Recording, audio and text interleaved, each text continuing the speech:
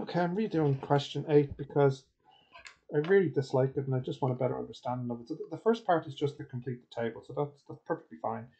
Um, the function is 72 minus 60 cos pi over 3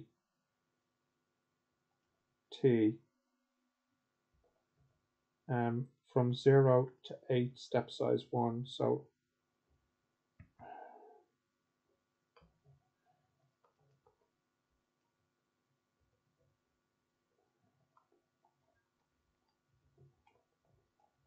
zero to eight, step size one. So that goes 12, 12 42, 102, 132, 102, 42, 12, 42, 102. And then they want you to graph this. So roughly speaking, that's 12 to 42 to 102 to 132 to 102 um, to 42 to 12 back oh have I have I gone off course? I feel like I have.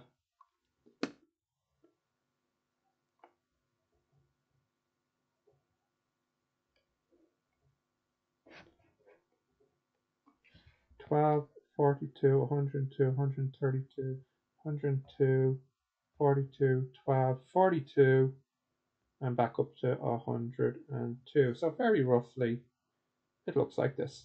That's a very ugly graph, but you get the idea. Find the period. So the Ferris wheel, you're told it turns 10 times in an hour. So that makes it six minute period. And the range you can see from it is going to be um, 70 minus 72 minus 60, which is 12 meters, and then 70 plus 60, which is 132. And I think that's what I got last time when I did it.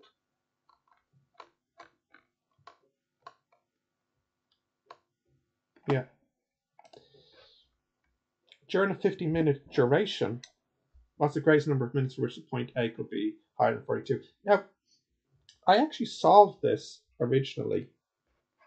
Whoops.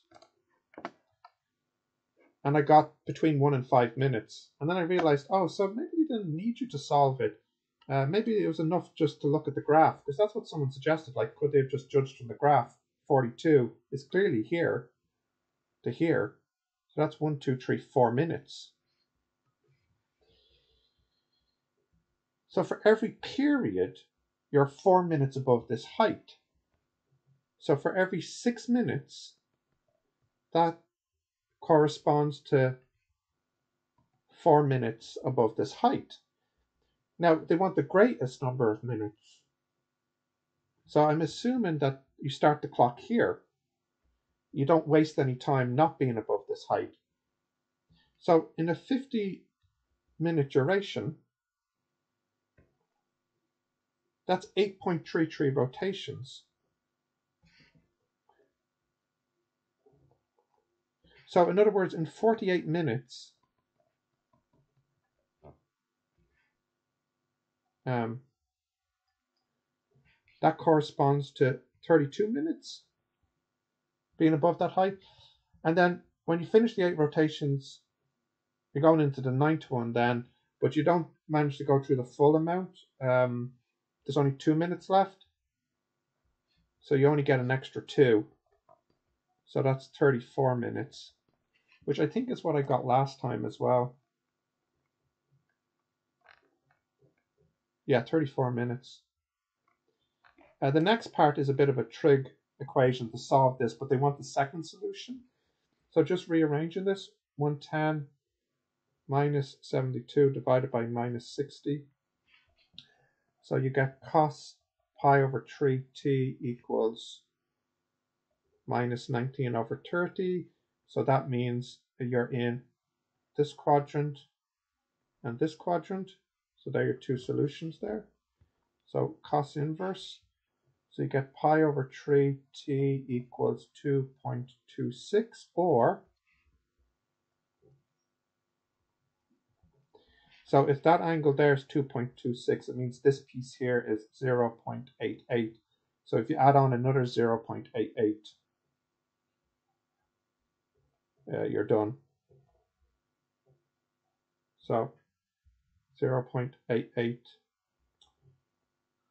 0.88 plus cos inverse minus 19 over 30. Um, is that right? No, no, 0. Point, ah, rats.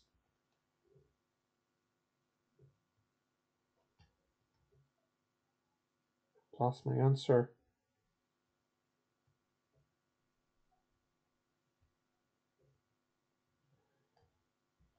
I have to retype it, fine.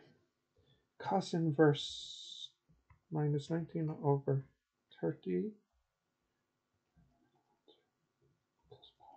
Okay, so the second answer is 4.03, etc., etc. Uh, so the time would be t equals two decimals place is 3.85 minutes. Again, I think I got that last time. Yep. And then the next one is the integration. So that'll be 1 over 8 minus 0, because it's from 0 to 8, and then integrate this 72 minus 60 cos pi over 3 t dt. So that'll be 1 over 8. Um, no, not integrate square brackets 72. I forgot to write the t last time, but I do have the right